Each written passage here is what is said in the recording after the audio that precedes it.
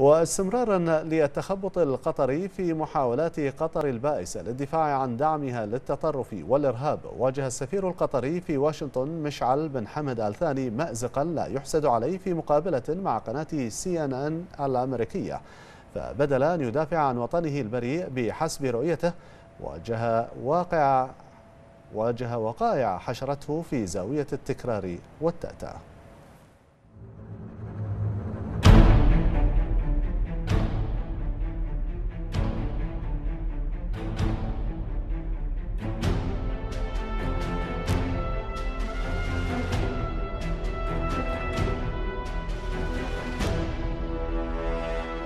cases. I was a, designated terror financier as a man named Saad bin Saad Al Kabi. And I was in Doha, Mr. Ambassador, reporting on terror finance. I spoke to him.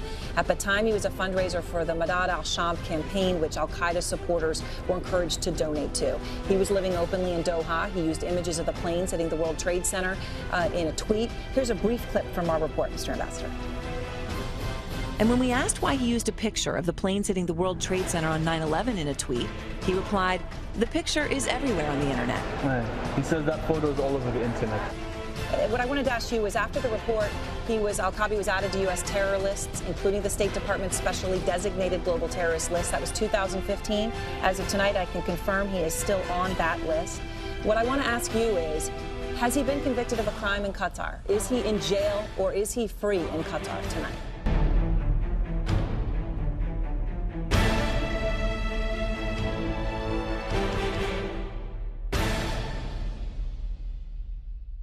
Well, um, uh, our courts are uh, taking uh, uh action against uh, all uh, suspected terrorists who are on this list.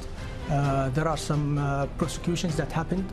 Um, and we are determined to, to fight fi finance of terrorism. So, so in the case of Al Qabi, are you, are you, do you know this, his situation tonight, whether he's in jail or convicted, or you're not sure specifically about him?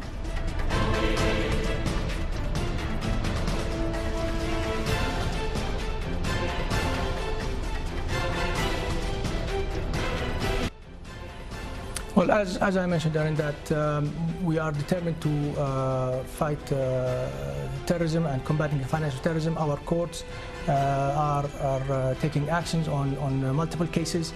Uh, there are, uh, some are ongoing and some are being prosecuted. So um, we are we are determined to to to, to stop this if it happens in, in, in our territory.